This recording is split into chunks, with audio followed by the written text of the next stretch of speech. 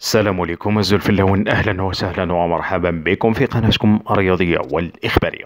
جياسكا أخبار تيفي وكذلك جياسكا أخبار التي دائما ما تشارك معكم جديد أخبار شبيبة القبائل يعني حصريا تم تأهيل اللاعب حمر بإذن الله لاعب شبيبة القبائل الجديد تم تأهيله وسيكون مؤهلا في مباراة أمام بارادو. يعني المباراة إن شاء الله اللي راح تلعبها شبيبة القبائل ضد بارادو راح يكون اللاعب حمرون إن شاء الله فيها لأنه تم تأهيله اليوم من مصدر رسمي. اللي نتمنى إن شاء الله كل التوفيق لشبيبة القبائل. على بالنا باللي بارادو هذا العام ماشي سهله بالبزاف خوتنا.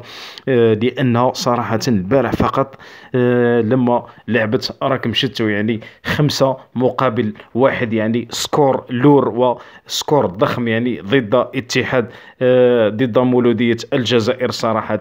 والكل يعني شاهد القدرات التي قدمتها بارادو آه، مباراة كانت في القمة رائعة. نتمنى حنا إن شاء الله أنه تكون مع شبيبة القبائل آه، مباراة رائعة وجيدة وممتعة للمناصرين. ونتمنى لهم كذلك الفوز من المباراة.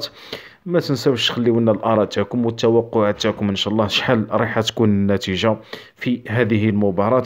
اللي نتمناو كامل إن شاء الله الفوز بالنقاط ثلاثة لما لا؟ لأنه شبيبة القبائل فارق.